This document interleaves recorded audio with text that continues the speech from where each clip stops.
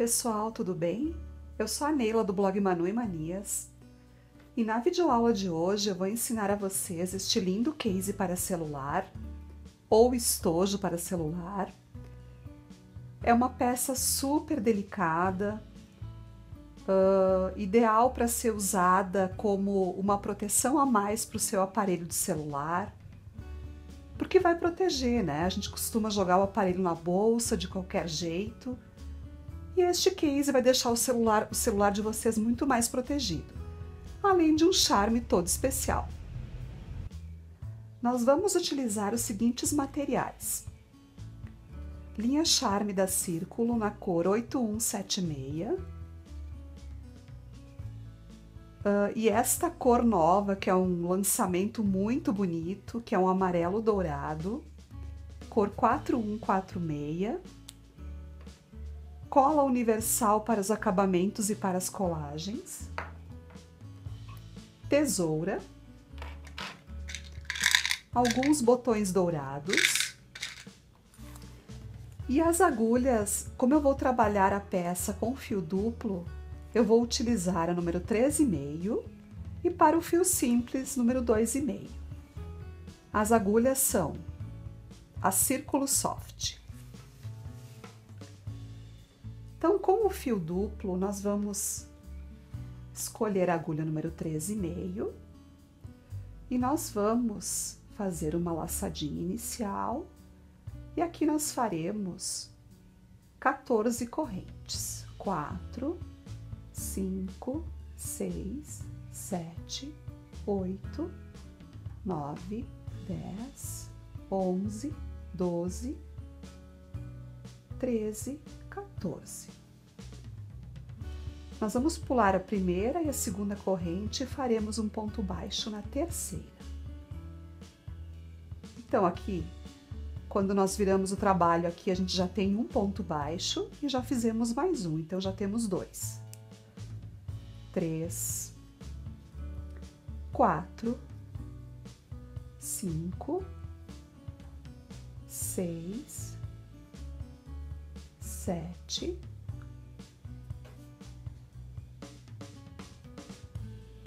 oito,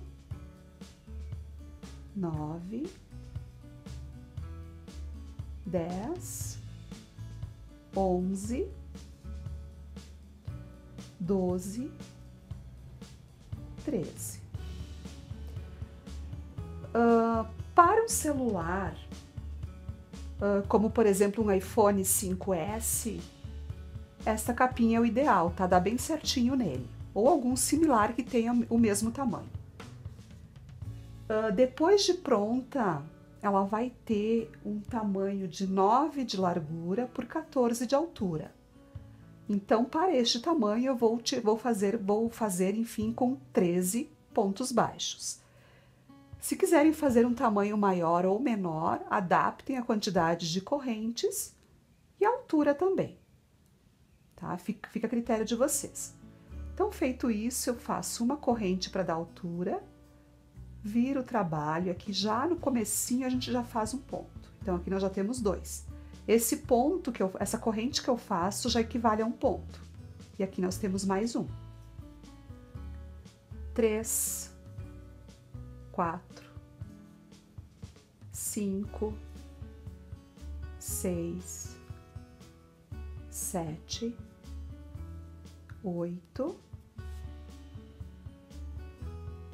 nove, dez, onze, doze. Aqui, pessoal, uma dica que eu vou dar para vocês para que, o nosso, que a nossa peça não fique torta, que fique bem retinha nas laterais, a gente vai deixar esse último ponto aqui e a gente vai pegar a argolinha aqui, ó. E vai sempre prender aqui. Então, aqui a gente vai fazer o décimo terceiro ponto. Novamente, uma corrente para subir, viro meu trabalho, venho nessa primeira aqui, nesse primeiro espaço, já faço a primeira. Três, quer dizer, a segunda, porque a primeira já é o ponto que a gente faz, a corrente que a gente faz para subir. Então, quatro, cinco, seis, sete, oito, nove, dez, onze, doze. Novamente, eu deixo esse trabalho aqui nessa golinha lateral aqui, ó. Treze. Vejam que o nosso trabalho vai ficando super retinho e com acabamento excelente aqui na lateral. Então, vocês vão seguir desta forma, pessoal. E vão confeccionar duas partes. A parte de trás eu fiz um pouquinho mais alta para que fique uma uma para que seja mais prático na hora de colocar o celular na parte da frente. Então a parte de trás vai ter 13 pontos baixos e eu vou trabalhar por 25 carreiras. Corto o fio e arremato. A parte da frente eu fiz com 23, ou seja, duas a menos. Feito isso, também eu vou arrematar. Então vai ficar dessa forma, ó. Fica mais prático na hora da gente colocar o celular, vejam só. Fica melhor fazendo a parte da frente um pouquinho menor. Então, pessoal, agora a gente vai trabalhar com a linha simples e com a agulha número 2,5. O nosso objetivo agora, então, é fazermos o acabamento e já prendendo as duas laterais. Primeiramente, eu venho aqui no cantinho da peça mais comprida e aqui eu vou fazer um ponto baixo e eu já vou fazer um picô aqui, ó.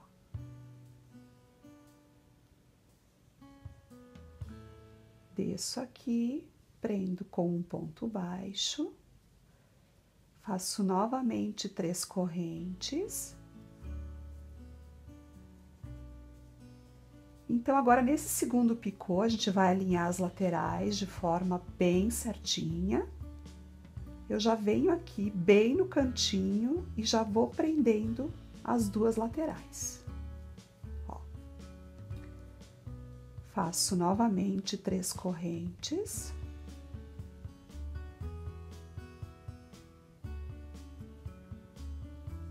Outro picô. Venho aqui e vou prendendo. Vamos fazer mais um, dois, três.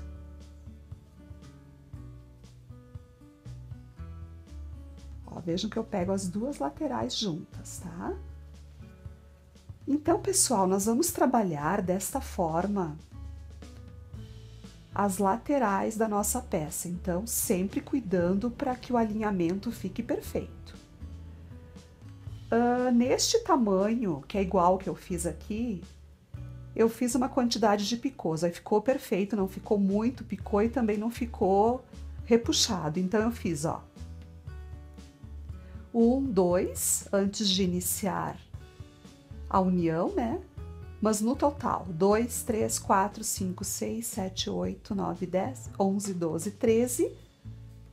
Aqui, ó, uma quantidade também 2, 4, 6, 8, 9. E aqui novamente os 13. Então, cuidem para que as laterais de vocês tenham a mesma quantidade de picôs, tá? Eu vou fazer a minha e já volto aí com vocês. Então, pessoal, aqui eu já finalizei então a minha volta de ponto picô, que também serviu de acabamento para nossa peça. Feito isso, eu corto o fio e arremato e vou reservar por um instante a nossa peça. Agora a gente vai trabalhar, eu vou ensinar esse motivo redondo que vai servir de fechamento para o nosso case. Certo? Então, eu vou utilizar o fio simples novamente. Faço o anel mágico. E dentro dele eu farei 16 pontos altos. Então, aqui dois, três, quatro, cinco, seis, sete, oito, nove, dez,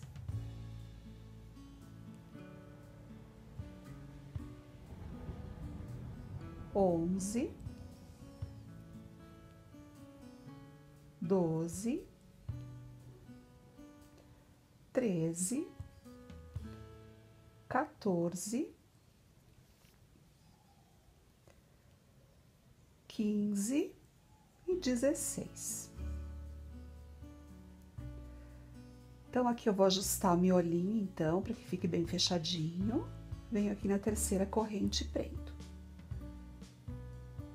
Vamos subir agora com quatro correntes. Três de altura e uma que a gente vai utilizar como espaço. Venho no próximo pontinho de base e faço um ponto alto. Uma corrente no próximo ponto alto. Então, toda essa volta será feita dessa mesma forma. Um ponto alto em cada ponto de base, separados por uma corrente. Eu já tenho um passinho adiantado aqui, pessoal, onde eu fiz a volta toda. Feito isso, eu vou para dentro do próximo espaço e eu vou fazer três pontos altos, mais um ponto alto, porém eu não tiro ele todo da agulha, eu vou trabalhar três pontos altos fechados juntos. Então, tiro só uma vez e agora eu tiro todos de uma vez. Uma, duas correntes. No próximo espaço, novamente tira um e deixa um na agulha. Três pontos fechados juntos. Duas correntes. Vamos fazer mais um. Um. Tira um e deixa um. Então, vamos trabalhar desta forma toda a nossa carreira. Finalizando, vai ficar dessa forma aqui, ó. Certo? Agora a gente vai trabalhar dentro de cada espaço. Dentro de um, a gente vai fazer um ponto baixo. Vou para o próximo e aí eu trabalho, ó. Cinco pontos altos. Dois. Três. Quatro. Cinco uma corrente e novamente cinco pontos altos. É uma espécie de leque, tá? Só que tem uma correntinha ali no meio só, ao invés das duas, como geralmente a gente faz. Três, quatro, cinco. No próximo espaço, eu faço um ponto baixo. Vou novamente para o próximo espaço e aqui eu faço o leque novamente. Então, três, quatro, cinco. Então, pessoal, vamos fazer toda essa volta, então. Dentro de um espaço, um ponto baixo, no outro eu faço leque. Cinco pontos altos, uma corrente, cinco pontos altos. Pessoal, aqui então retornando, eu finalizei aquela última volta, prendi já o botãozinho dourado, que como vocês já sabem, eu utilizo aquele fio do anel mágico que fica sobrando atrás e eu prendo esse botão. Aqui, pessoal, para fazermos a última carreira, então, que é para dar um up na nossa peça, eu faço o seguinte: eu trabalho oito, nós temos oito leques, né? Eu vou trabalhar sete leques dessa mesma forma, ou seja, quatro pontos baixos, no centro aqui onde tem a corrente faço o quinto ponto baixo e nos quatro próximos mais quatro. Prendo aqui no centro, onde tem o ponto baixo, eu prendo ele, faço ele pela frente. Então, eu venho aqui, Passo a linha e trabalho o ponto baixo pego pela frente. Novamente, eu faço os quatro, três, quatro. Então, como eu, como eu havia comentado, como eu estava falando, eu vou trabalhar sete leques dessa mesma forma. E o oitavo, que é este, eu vou fazer a argolinha para prender o botão que vai fechar o nosso case. Então, eu faço um ponto baixo aqui onde tem uma correntinha, né? Eu subo com seis correntes e prendo aqui no mesmo espaço com outro ponto baixo.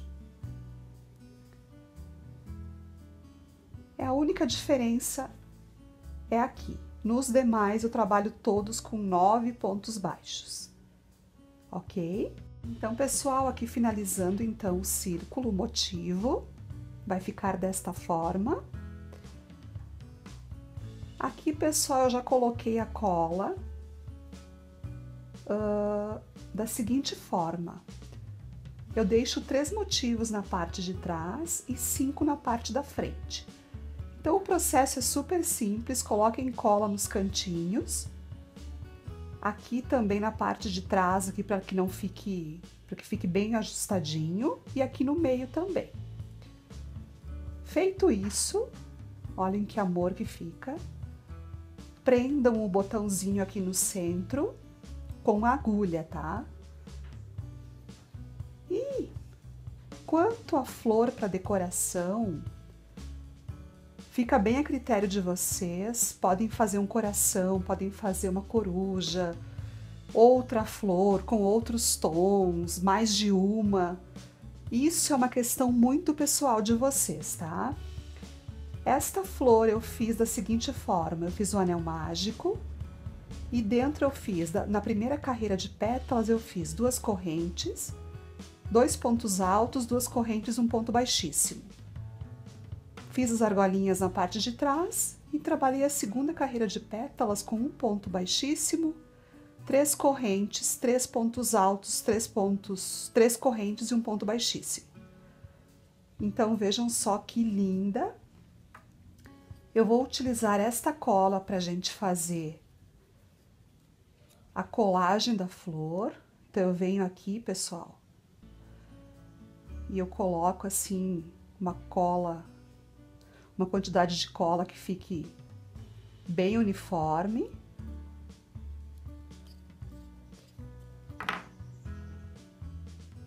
E aqui eu venho aqui centralizo a minha flor.